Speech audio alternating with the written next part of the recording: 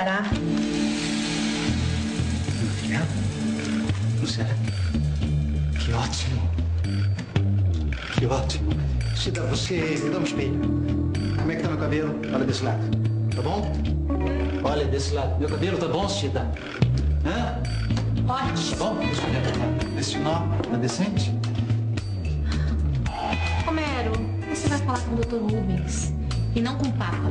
Mas que papa? Papa, menina Cida. Quem me interessa o papa, quem me interessa realmente é o doutor Rubens Baronese. Por isso que eu sou advogado da empresa e você... Você é a secretária. Mais uma vez eu vou te falar para você não esquecer. Repita comigo. Doutor, não é difícil. Doutor Romero. Repita. Doutor Romero. Doutor Romero. Doutor Romero.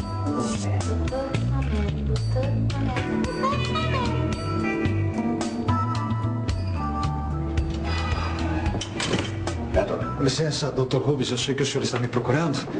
Em que eu posso ser útil? Sente-se primeiro. O que o senhor achou dos relatórios? Romero, você sabe eh, se as estruturas de área, descarga, produção e congelamento têm os nossos padrões? Sim, senhor. Tem os nossos padrões e, inclusive, estão dentro dos padrões internacionais. Então, é, é uma bela oportunidade. Doutor Rubens, o senhor sabe como foi difícil negociar com o pessoal da Costa Brava. Eles colocaram muitos empecilhos no nosso projeto, mas finalmente eu consegui convencê-los. Quer dizer, nós conseguimos convencê-los. É. O importante é terem fechado o negócio. Com essa compra, o CIP se tornará a maior indústria pesqueira da América Latina. Então só nos resta comemorar.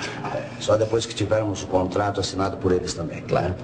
Bom, trate de resolver isso, Homero, o mais rápido possível. Sim, senhor.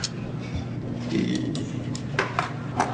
Doutor Rubens, em quem o senhor está pensando para colocar à frente do projeto? Gustavo, meu filho, claro. Gustavo? Desculpe, doutor que eu pensei que, como fui eu que fiz toda a negociação, eu pensei que eu seria responsável por esse negócio. Elementar, meu caro Homero. Gustavo entende de peixes e você de leis. Mas é claro que eu não estou menosprezando o seu trabalho, muito pelo contrário. Eu acho que você é necessário e muito aqui dentro dessa empresa. Por isso você fica aqui comigo. Eu compreendo. Eu, eu, eu, eu, co- eu compreendo, doutor, mas sinceramente eu quero me colocar à disposição para qualquer contribuição. Eu sei todos os trâmites, doutor. Diga ao Gustavo que eu posso contribuir muito. Obrigado, meu caro Homero. Obrigado. Bora, agora você me dá uma licença que eu preciso fazer uma ligação, tá? Claro.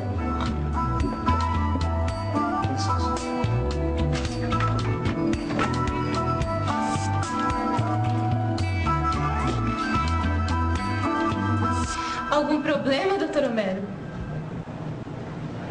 O que, que é isso? O que, que é isso, Cida? Você deu agora para controlar minha vida? Vai arrumar o que fazer, menina? Desculpa, é que eu pensei. Pois pensou e pensou errado. Por acaso aqui você é paga para pensar ou para dar conselhos? Hein? Desculpa. Hein? Gustavo. Gustavinho, será que a gente podia conversar um instante? Só se for rápido, quero falar com meu pai. É justamente sobre o seu pai que eu gostaria de conversar. O que, que foi? Pode falar. Você não, não esteve com ele ainda? Não soube das novidades? Não, não soube de novidade alguma. Gustavo, Gustavinho, você vai ser o responsável pela implantação da filial do Ceará. Gustavo, o CIP está investindo muito dinheiro naquele lugar. Dr. Rubens precisa de alguém de confiança à frente do projeto. Filial de Fortaleza. Não, não pode ser. Você só pode estar enganado, Homero. Você só pode estar enganado. Não, eu, eu ouvi do seu próprio pai. Mas eu acho que você não ficou muito feliz. Algum problema, Não, Gustavinho? problema nenhum. Problema nenhum. Eu só tinha outros projetos com ele, é só isso. Ah, a não ser que meu pai esteja querendo me deixar afastado da ilha. Da ilha? Pode ser. I- ilha? Você está querendo dizer a ilha do profeta? Você- pretende fazer alguma coisa lá, Gustavo? querendo dizer não, tô dizendo. Depois a gente fala sobre isso. Tá bom. Tá legal? Tá bom. Que eu preciso ir, que eu tô atrasado. Gustavo, Gustavo, só, mais uma coisinha. Por favor, eu sei que você vai conversar com o seu pai agora. E seja discreto. Eu não gostaria que o Dr. Rubens soubesse que fui eu que adiantei a notícia. Pode deixar. Tá. Pode deixar.